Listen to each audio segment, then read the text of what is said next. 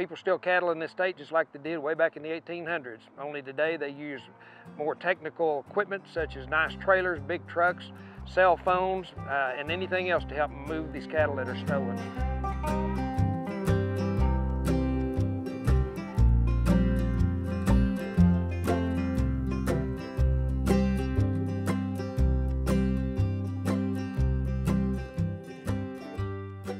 In Oklahoma, my agents and I will investigate anywhere from 1,500 to 3,000 head of cattle reported were stolen just to us every year. Uh, and we will recover somewhere between five and six million dollars worth of stolen cattle and equipment as uh, annually. Probably the first time that I was ever involved in stealing cattle, I was probably 17 years old. Hauled them a couple states and sold them, and when we had that money in our hand, you know, that was a that was an adrenaline rush of its own.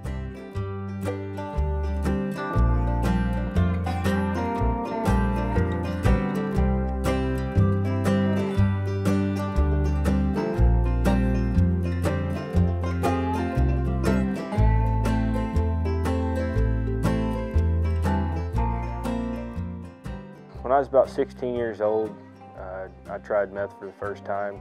At first I didn't use as much, and then all of a sudden, you know, it took quite a bit of money to fuel my habit. And uh, dropped out of school.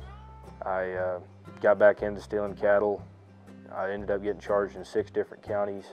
Ranged anywhere from stealing cattle to possession of drugs to transporting firearms, possession of firearms.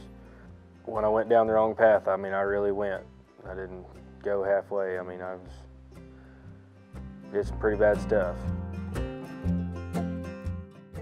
One of the things that we see that most uh, of our investigations have in common are the outlaws that we arrest are users of uh, illegal narcotics. We find that most and often here in Oklahoma to be methamphetamines.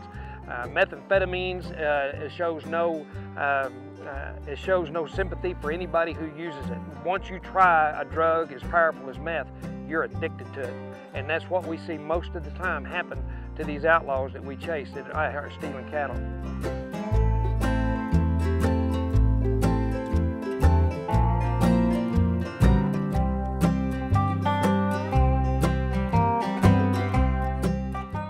Trying to set some money back so I can afford to buy some cows so we can you know, build a better future for ourselves and, and for our kids where maybe they can have a cow herd to finance their going to college someday.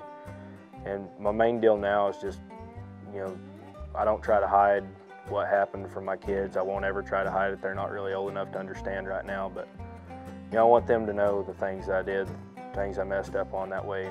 Maybe they can learn from my mistakes and not go down the same path that I did.